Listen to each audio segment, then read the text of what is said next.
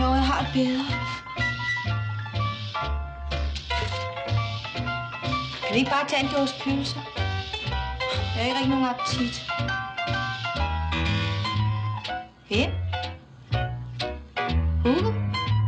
Uh-uh. Nej, nej, Rene. Ja, ja, det skal jeg nu.